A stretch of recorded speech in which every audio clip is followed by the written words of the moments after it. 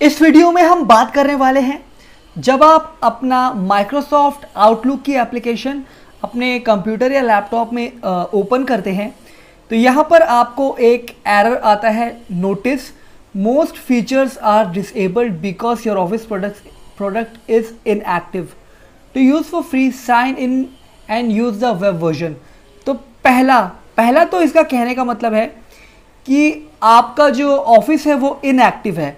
देखिए, अगर आपने अपना लैपटॉप या कंप्यूटर न्यू लिया है न्यू कोई शॉप से बाय किया है या ऑनलाइन बाय किया है तो आपको शॉप वाले क्या करते हैं एक ईमेल एक्टिव करके देते हैं और वो उसमें आपका माइक्रोसॉफ्ट फ्री रहता है हमेशा के लिए।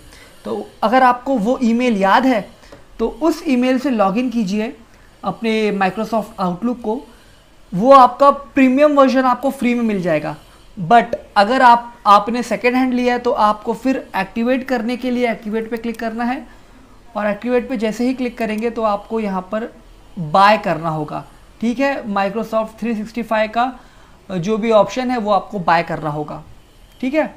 बट अगर आप इसे फ्री में यूज़ करना चाहते हैं, बिना कोई ख़रीदे, बिना किसी चीज़ के तो आप वेब वर्जन यूज़ कर सकते हैं use free at office dot com पर यानी आप इस पर क्लिक करेंगे तो ये कोई भी ब्राउज़र पे रिडायरेक्ट हो जाएगा और आप as a web version use कर सकते हैं यानी कि एप्लीकेशन नहीं होगी आपको एज अ वेबसाइट यूज़ करना होगा।